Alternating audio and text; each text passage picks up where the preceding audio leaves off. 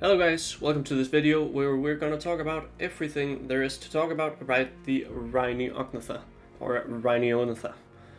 Well, first of all, what what does this resemble from the uh, dinosaur age? Well, Rhyniognatha is an extinct genus of arthropods whose classification is controversial. In some analysis, it is considered the oldest known insect and possibly a flying insect, but, well, science just doesn't know for sure. This monster beetle will now be released on the existing version of Ark Survival Evolved, so and not Survival Ascended, and it will be released in June 2023 as the final content update.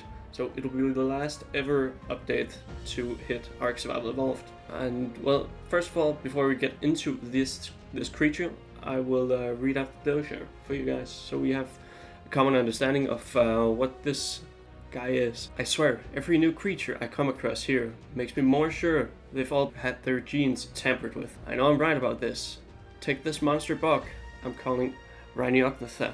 Big enough to headline a horror flick, but still light enough to fly and skate across water. Would you believe it? Also makes a weirdly useful quick hardening resin with a variety of uses. It can thicken up its shell for a more defensive boost, spray hard bullet-like globs, or squirt soft globs harden on impact to gum up incoming predators. These overgrown earwigs are just what you need to level up your tribe's aerolith defenses. And here's a tip.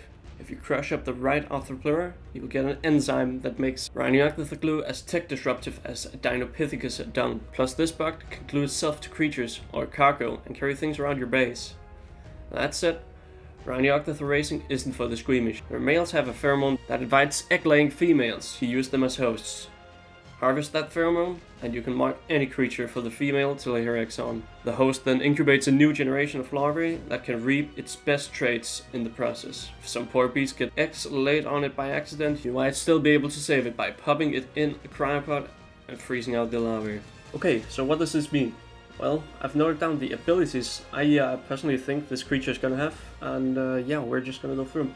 So, first of all, it can skid across water like a bloodstalker, basically, is what I read from this. And again, it can carry larger dinosaurs with its gluey tail, and at the same time it carry slash move inventories of boxes and balls around, like a primitive exomech. Then it has a defensive mode, and preferably, or, uh, presumably also an offensive mode, since it can be defensive. Well, and again, it can slow or snare other dinos with its glue, which would be very useful for taming. And now here comes uh, the interesting part as well. When it kills Arthropleurus, it uh, kills them to make an enzyme that's tick disruptive, just like the Dinopithecus dung.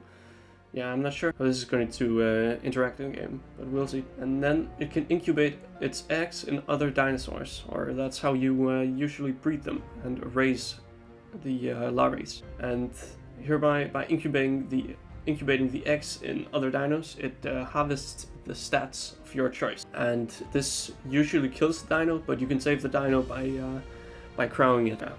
That's uh, that's about it. I'm uh, looking forward to uh, this thing being added to the game, and I'll definitely uh, update you guys when it does. So yeah, thank you for watching. I'll see you in the next one.